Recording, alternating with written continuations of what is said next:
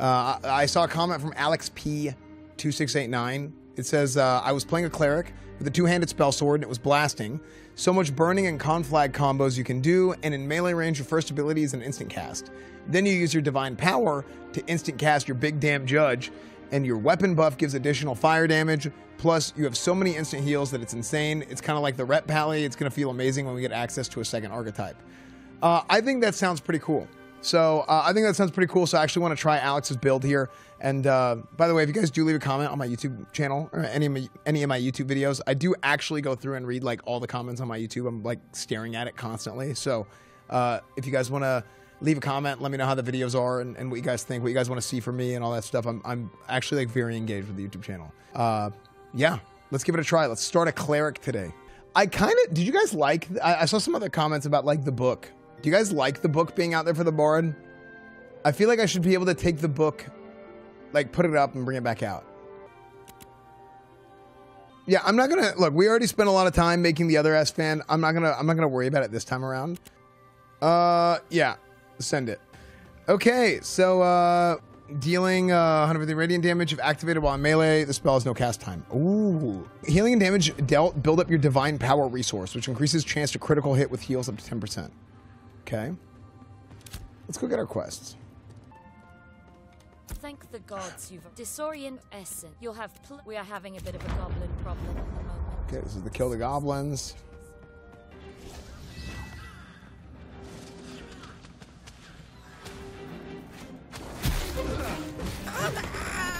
Okay, so that's just my auto attack. So, hold on, did it auto attack just whenever I left clicked him?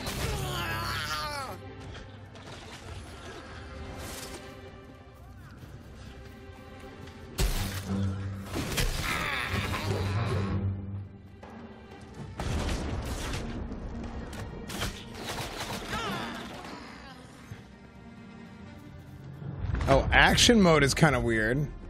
Where like it like locks your mouse look. Dude, I can press any button and I start attacking. So I just left click him and then I hit sprint. Oh wait, no. I did that earlier and it worked. Z for action mode? Oh, action mode you left click. And then right okay, so if you press Z you go into action mode. Is this new?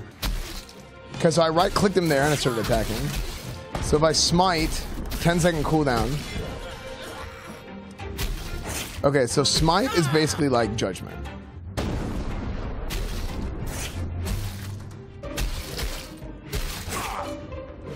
And then I hit that to self heal.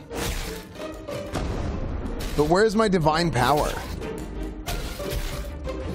I just spam heals. Oh, and it's charges. I have three charges. Oh my gosh. Wait, hold on. This is kind of sick.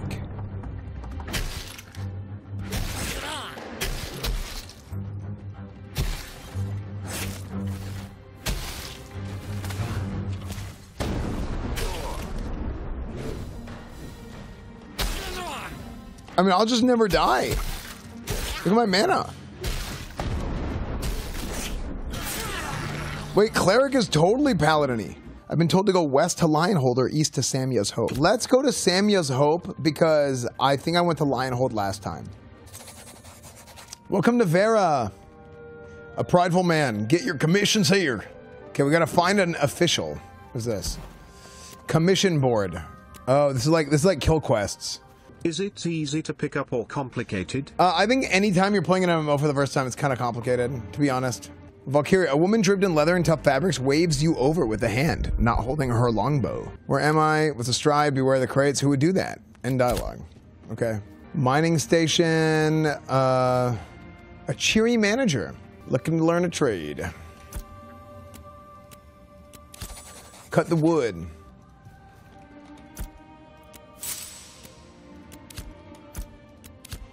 Okay, I found the official, official Nurch. Nera, not Nurch. this was a C. Question updated. I need to attune my essence at the Ember Spring. Braidwood. This has got to be the oak, right? Oh, this is ash. Chop that ash. Okay. Oh my gosh, I moved. For some reason, I thought I could move while chopping. Okay, thank you. Bye bye. Okay, two ashwood. What about this one? More ash.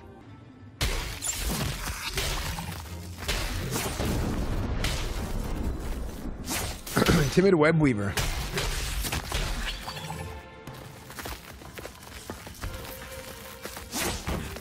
Six block.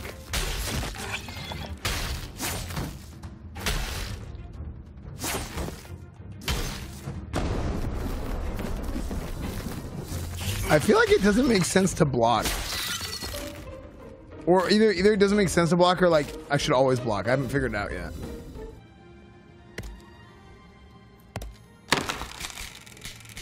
Okay. Yeah, cleric actually is essentially a paladin at this point. So, so originally, here's something to talk about a little bit. Uh, I originally did not play a cleric because I thought a cleric was going to play more like a healer uh, at the low levels. I thought cleric was going to be a little bit more healer and a little bit less paladin. But as it turns out so far, cleric is very. Uh, I mean, it plays very much like what you would expect a paladin to play like. Um, like I'm using a big two-hander that I picked up off the ground. Uh, I have my smite, which is like an instant cast in melee range, which is kind of like a paladin judgment, 10 second cooldown. I can even cast it at a range, but it's got a cast time. Uh, I have instant heals with my mend, right? Three charges, like boom, boom, boom. I can spam it. Kind of cool. So yeah, I mean, so far, cleric is kind of sick.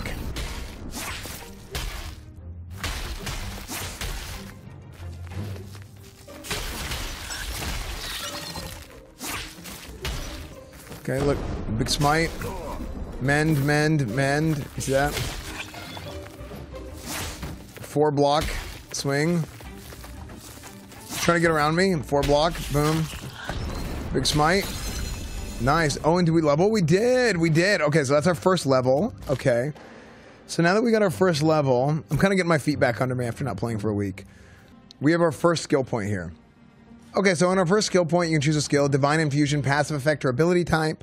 Uh, divine Infusion or Essence Infusion. Your spells consume divine power instead of mana or health. Ooh. Divine Infusion. Consume divine power to instantly complete the remaining cast time of any spell being cast. So let's say I'm casting a spell. Oh, this guy's going to come interrupt me. Divine Infusion. I press the spell through and I burn my divine power. It's, a, it's another resource uh, which gives me higher chance to crit, I think. The amount of divine power consumed is proportional to the amount of cast time remaining. Mm. Let's try divine divine infusion. I mean, these are kind of these kind of aren't super exciting, so I'm just going to do essence infusion, uh, and I can always respec later. So I'm going to put that point in there. I have a skill point here for my weapon. Deadly Finisher, Bleed, Deadly Finisher, Snare, and Deadly Finisher, Wound. 25% chance to trigger a Deadly Finisher that applies Wounded to target's hit. Uh, 25 to activate a Deadly Finisher. What is, what is a Deadly Finisher? A finisher that deals additional damage and triggers additional Deadly Finisher effects. So the final hit of a standard weapon combo attack chain. So it's like every three auto attacks, I would proc a 25% move speed debuff or wound would be like mortal strike, a, a stacking 5% mortal strike. The bleed, 15%, oh, 15% weapon damage over six seconds. Okay, so I'll go bleed. Probably. Like I would use wound or snare probably for PvP, but for just leveling, I'll probably go bleed. Divine power stacking buff.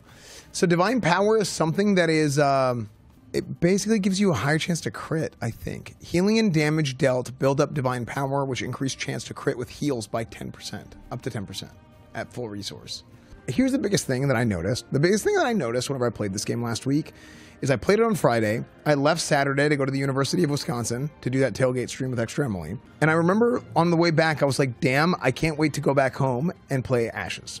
And I was like, I actually had fun playing. And the first alpha, a few years back, I don't really remember that feeling of like, oh, that was super fun. Like, I enjoyed the combat. I don't remember having that feeling. In fact, I don't even remember hardly anything about the combat back then. But playing a bard for me was very fun. Combat is good. It's easy to be optimistic. Yeah, I mean, there's still some things that need a lot of work, right? Like, uh, I mean, just being frank, I don't really like the movement necessarily. I think they should just copy WoW's movement. Yeah, I mean, I know some people who are not WoW players, especially. Oh, frick! I wasn't even looking at my health.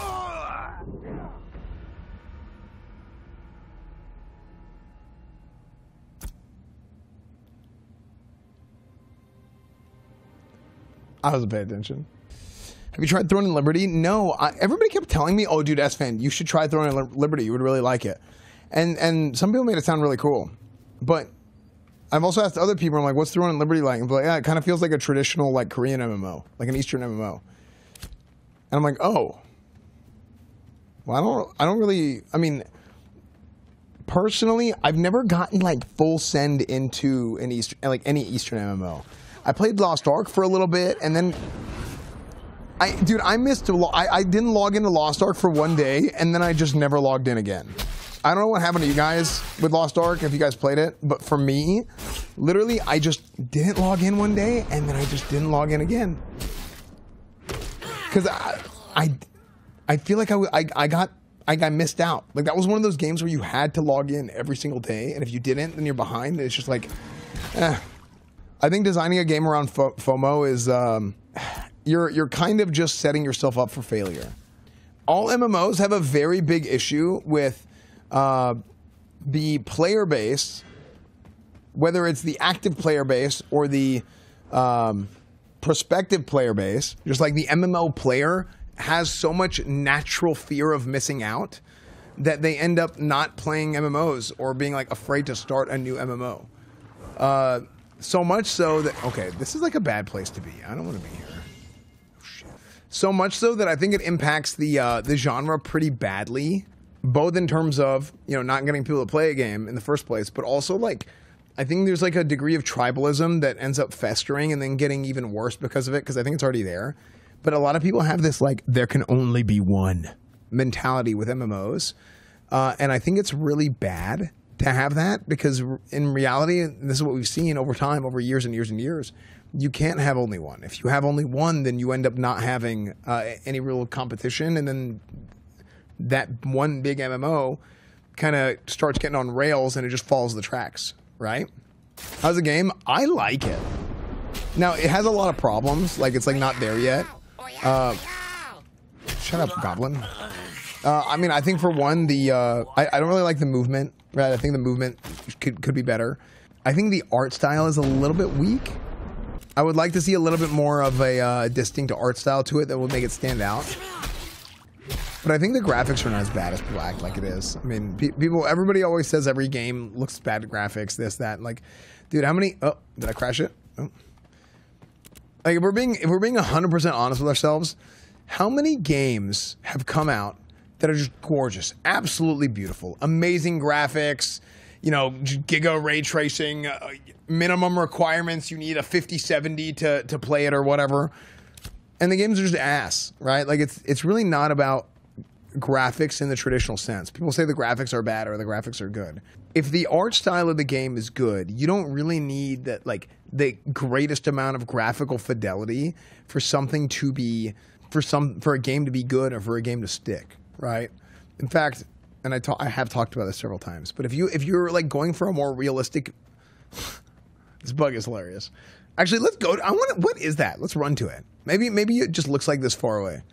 If you're going for realistic graphics, it is inevitable that eventually your game is going to be outdated because. But if you have a game like like World of Warcraft, vanilla, the the art style of vanilla is timeless. Dude, I'll even take it as far as saying um, RuneScape, old school. It has its own unique art style, and even though it's like polygons, it's it's timeless in its own sense, right? Like people look at it and they're like, "That's old school. That's OSRS." Uh, you look at games like you look at a game like Super Mario 64 for the Nintendo 64, right? It's a Nintendo 64 game. I didn't even say that when WoW updated their art style, it hurt. Yeah, I mean they they did kind of update their art style, right? Um, in uh, in what was it? and um, it still has its own distinct style. Plentiful Mend, Mend has two additional charges. It already has a lot. It already has three, with a three second cooldown. Escalating Mend. Mend's healing is increased each time it is used in quick succession. So if I spam Mend, it'll be like. boop, boop, boop. Uh, Resplendent Beam, held ability. Fire a beam of healing energy towards an ally. Charging allows the beam to bounce up to four. Okay, chain. It's like a chain heal. Judgment. If cast on an ally, restores health equal to 1500% of your spell power. If cast on an enemy, It deals 280% radiant damage and applies burning. Ooh. Well, we got to get judgment. Yeah, we got to get judgment. I mean, uh, judgment, judgment, judgment. We have, you have to. Soothing glow. What is soothing glow? Uh, so, oh, it's like a it's like a renew. Okay. Flash cure instantly heal a target ally. This may be used during other ability activations. Oh wow! So flash cure, I can be casting another spell and I can cast that spell while I'm casting another one. Flash cure. I'm playing a cleric. I mean, I might just make it easy and go for two more charges. I mean, I could get the renew, two charges of a renew. Yeah, let's get plentiful men. I, I like having five, five charges of that. It's kind of sick. Judgment. Okay, let's look at our weapon. Weapon skills. I have, I have one skill point for my weapon. Extra damage. All weapon combo attacks with passive more damage. All weapon three percent penetration. Uh, deadly finisher trigger chance is increased by ten percent. Finisher into damage. Ooh. Yeah, let's. Um. So this is just natural more damage. This is um, armor pen. This is higher chance to have a burst damage, and this is just more burst damage. I'm gonna go deadly finisher just because it's cool. to proc the bleed. Gain an additional 1% movement speed every second while sprinting in combat. Okay, this is the big judgment. Look at the spell cast. Okay. Okay, that was kind of cool. Dude, that was a pretty cool animation. that was kind of sick. What is the cooldown on that? 18 second cooldown. That was kind of cool, dude. My WoW brain is like, can I macro that and everything? I know, right? I was doing the same thing. Look at this. Look at this big judgment, big judgment, big judgment. Bam. That's a. And then a burning fire proc. Oh, it's dead. Okay, we need to go like attune ourselves to the uh the thing. Wait, hold on. I'm casting judgment on nobody, so it's gonna heal. 450 heal.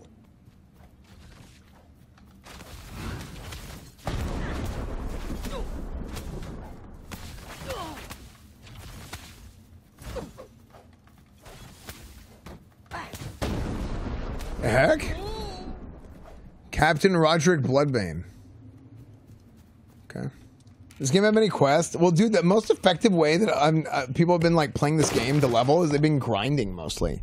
Yeah, the quest system is kind of um, janky, but it doesn't hand like it shouldn't hold your hand. The oh, hey, it shouldn't hold your hand the entire time, but at the same time, it should point you in the right direction, and it kind of just. Uh. Okay, weathered oak timber. We need some of this. Okay, claim. Uh, send to inventory. Um, bring the weathered oak timber to trades manager Hernet in the workshop. I will. Mr. Hernet.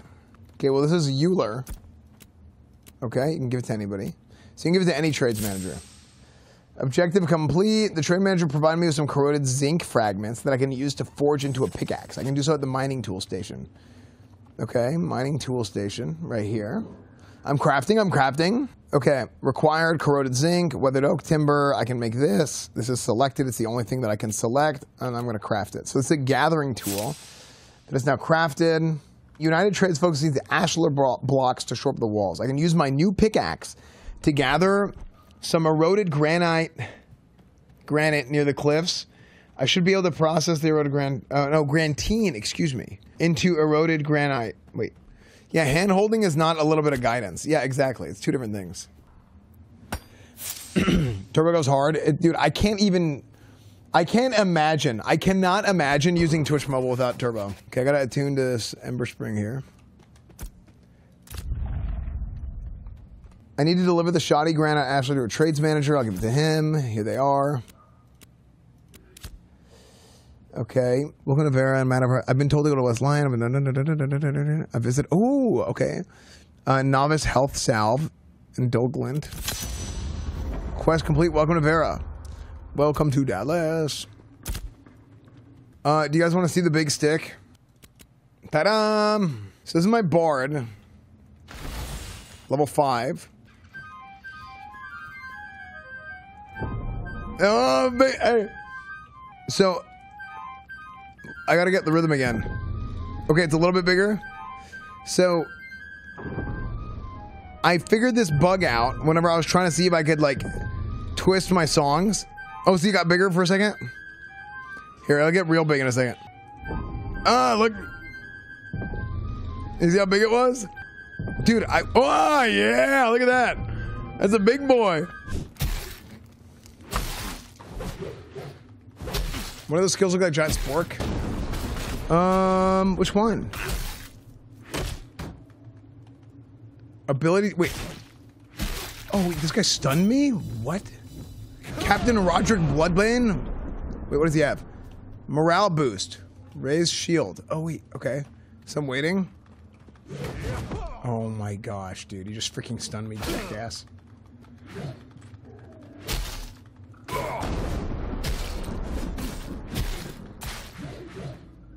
Judgment? Oh my gosh, he keeps interrupting me. That's my big damn. Dude, okay, so the the cooldown triggers even if it gets interrupted. If you don't get the spell cast off it, it it's still uh interesting. But there's no way I die.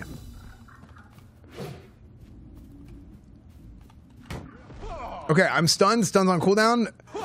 Big damn judge right here. Big damn judge. Big damn judge.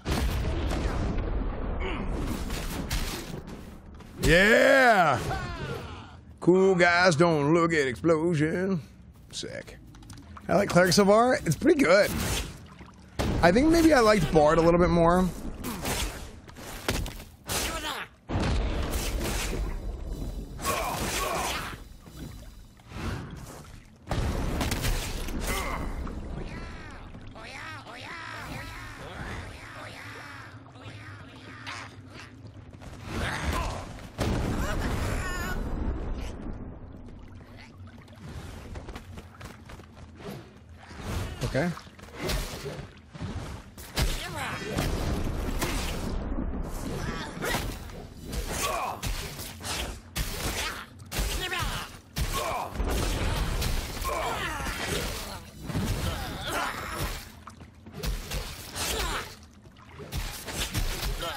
Okay, good. Nice.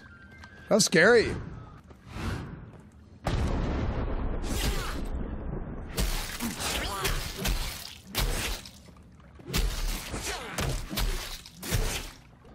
World looks too big and empty. Um, I mean, I think there's certain things that are cool, right? Like, I mean, I, I think this this whole castle area is pretty sick, right?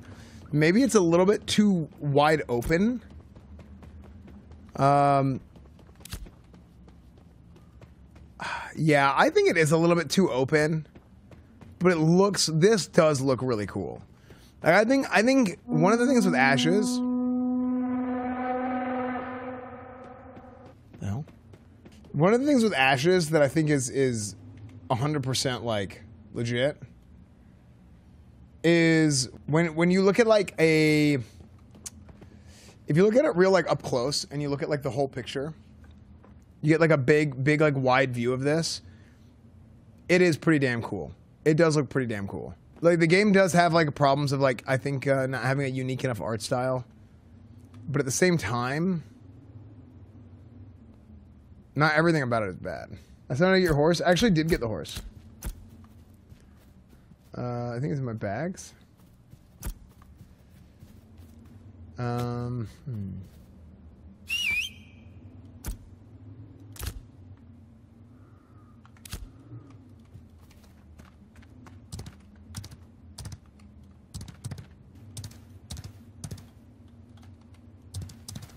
Mycelian? Oh, frick!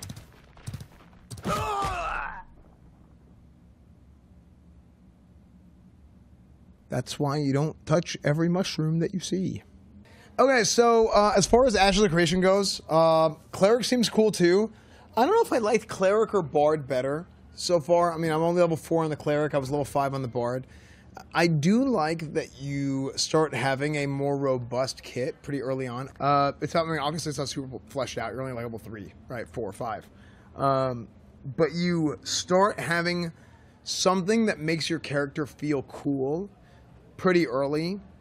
And if you have too much of that, it's not good. But having a little bit of that right off the bat to give you a taste, I do think is pretty cool.